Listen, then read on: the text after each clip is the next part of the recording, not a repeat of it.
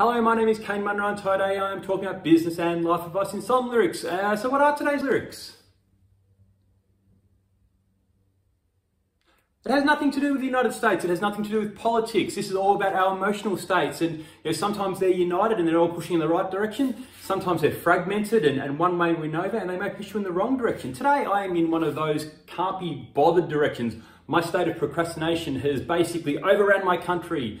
Uh, it's overran any sense of motivation and any sense of obligation that I might have felt to do some stuff this morning. And you said, you know what, Kane?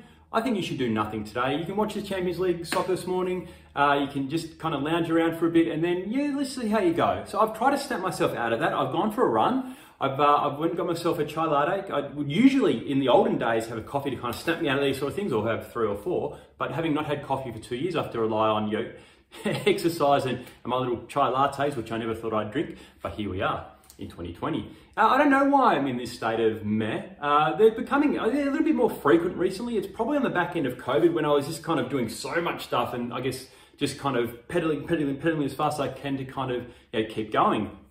So I think it's on the back end of that and us going back to sort of more COVID normal stuff here in Victoria.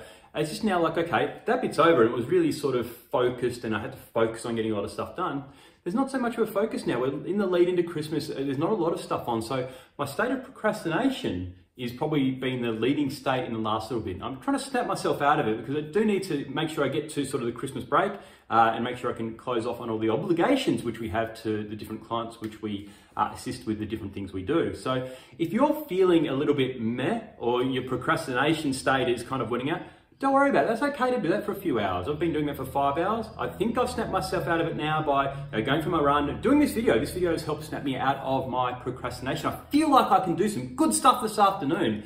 Um, so if you are in a state of meh, just roll with it for a little bit. If it goes on for a little bit, try to do something to snap yourself out of it because it's okay to feel a little bit and every now and again. You don't always have to be like up there and them because we all go through low phases and high phases. So that is my business and life advice song lyric today.